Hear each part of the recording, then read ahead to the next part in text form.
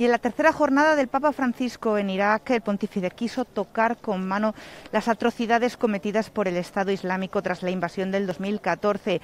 Francisco viajó hacia Mosul, la ciudad donde el Estado Islámico proclamó su califato. Desde aquí el Papa llamó a la fraternidad, eh, a la que Dios no puede ser eh, violencia y también eh, hubo una oración por las víctimas de todas las guerras. Entre los escombros, entre las iglesias destrozadas por los yihadistas, el Papa Francisco también recordó a todas esas víctimas cristianos yazidíes que sufrieron en sus carnes la furia yihadista. El Papa también quiso visitar una de las iglesias sirio-católica totalmente destrozada para rezar en silencio.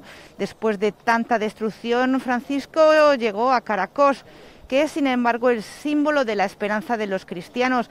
Han ah, vuelto el 50% de sus habitantes que huyeron después de la invasión ah, del Estado Islámico y también han reconstruido la que es la mayor de las iglesias de la zona, la iglesia de María de la Inmaculada.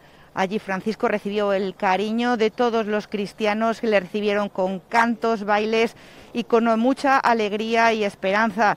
Papá en, rezó el ángelus con ellos en esta iglesia que fue un polígono de tiro del Estado Islámico y que ahora, sin embargo, ha sido reconstruida y brilló para Francisco eh, después eh, terminó la jornada con una misa aquí en el estadio de Erbil para 10.000 personas eh, debido al coronavirus. Se han restringido mucho el aforo.